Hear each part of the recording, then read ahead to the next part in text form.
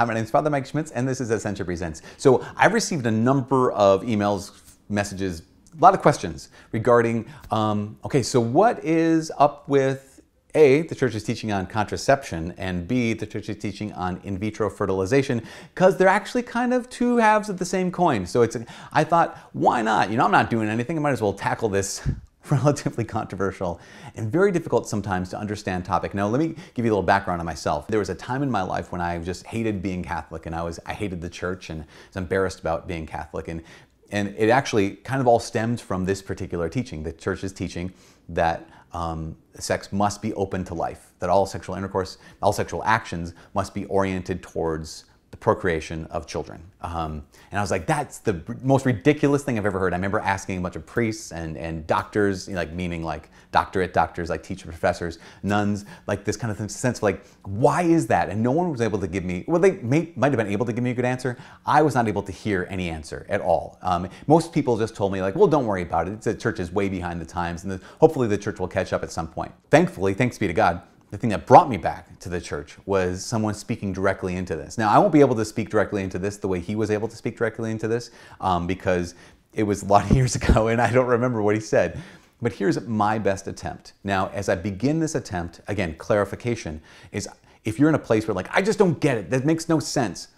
I was in that place as well, where I did not get it. It made no sense to me.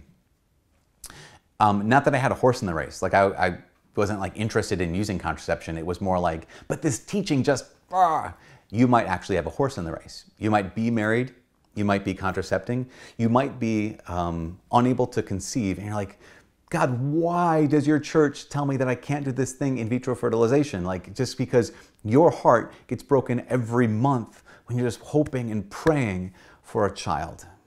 So, again, as I said, I didn't have a horse in the race at the time. I just had like the question but you might have a horse in the race. You might have the question not only intellectually, you might have the question in your heart. And I just want to be as sensitive to that as I possibly can as I try to answer the question.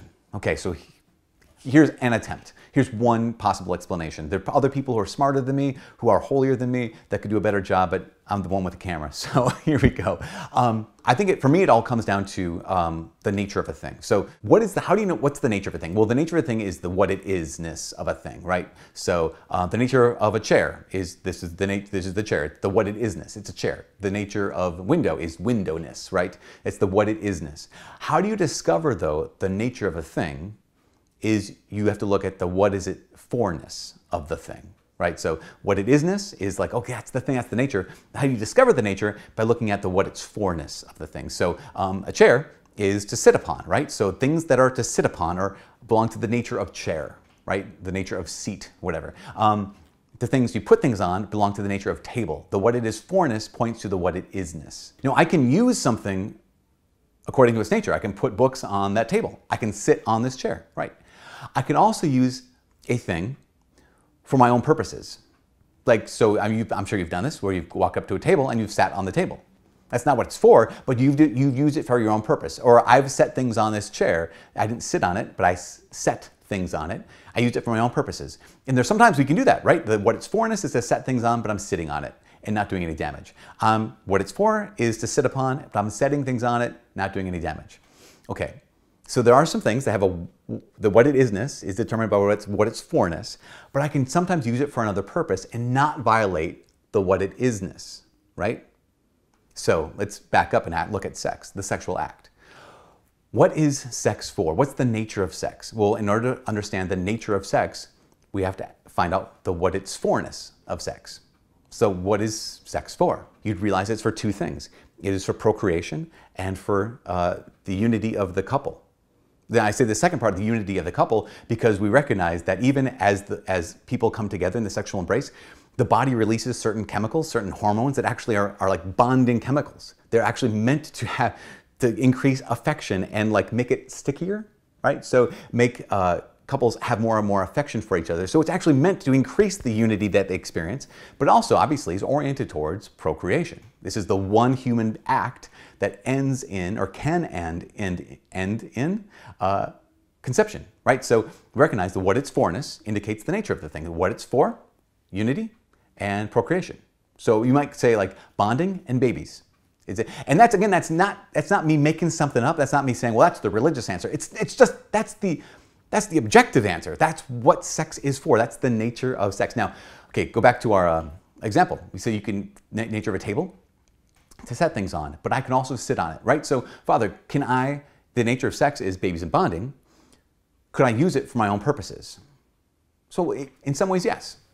For example, um, if you had a, a husband and wife and they're entering the sexual embrace, and maybe right now at this moment they're entering the sexual embrace in this exact moment because they're like, no, um, she's ovulating. This is she's most fertile right now. So yes, while we have affection for each other and love for each other, um, the reason we're entering into this moment of the sexual embrace is more for babies than it is for the unity. Or another time where it's not that, it's the opposite, where here's a couple, husband and wife, love each other, and they're wanting to experience the unity of the sexual embrace, whereas they're not really trying to achieve pregnancy. Can you do that? Yes, of course you can. Now, the issue comes when a person directly works against the nature of the thing. So back to our chair and back to our table example. I can sit on the chair, I can sit on the table.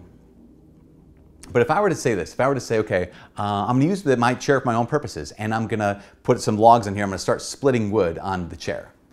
Pretty quickly, I would violate the nature of chair.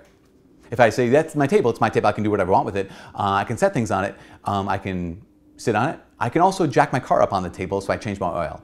I pretty quickly violate the nature of the table. Why? Because there's some things you can do for your own purposes that don't violate the nature, table, chair, sex, but there's some things I do that we could do that would actually disintegrate the very nature of the what its forness of the table, of the chair, or of the sexual embrace.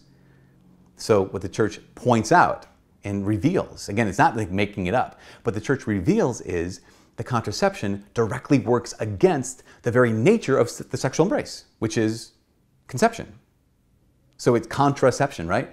It's not just entering the sexual embrace and not getting pregnant, it's working directly against that. And I can't work directly against conception without violating the very nature of what the sexual embrace is for.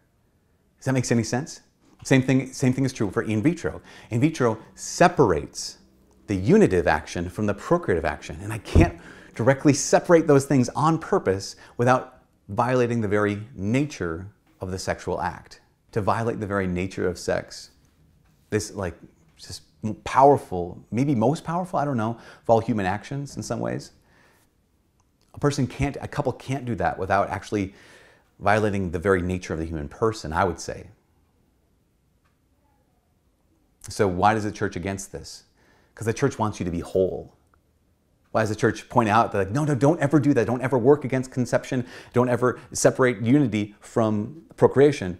Because the church wants you to be whole. The church wants you to be happy. The church wants you to have joy in your life. But you could say this, and this is kind of towards the end of the thing. You say, but Father, I can't have joy because I long for a child so badly that I'm willing to do anything for this child. How can I be whole if I can't conceive?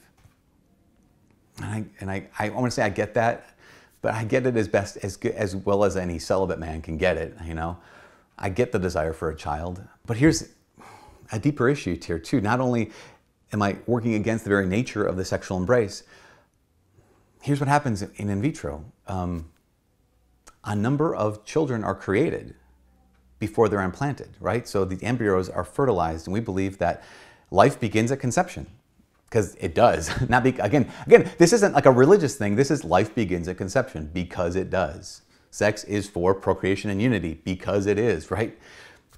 Life begins at conception, so there's all these embryos that are frozen, these children, they're not allowed to grow to fruition. What do you do with all these children who have been created, who are now in a freezer? Those are human beings. And this is one of the things that it, it can lead to. You know, so many, so many people in our, in our world, they see children as liabilities. But too often, those people whose hearts have been broken by being infertile, by the, again, this, that, that, that, that cross of infertility, sometimes we can begin to see children as commodities. And again, I'm not saying, I'm not trying to place any, any, any uh, judgment on anyone's heart at all.